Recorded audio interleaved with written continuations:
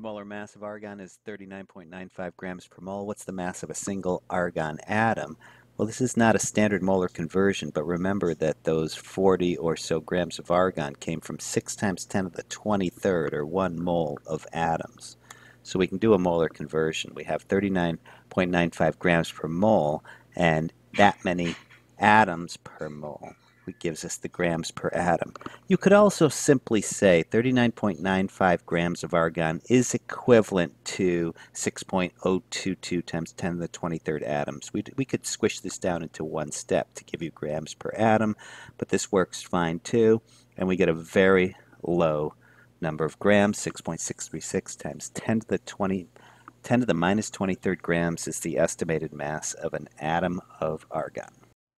It is worth pointing out that in this problem, that 39.95 grams per, cannot be the mass of a single argon atom. It's the average mass of a bunch of atoms. So obviously it would depend on which particular atom you had, what isotope you had. But this data should be pretty close for your average mass of argon.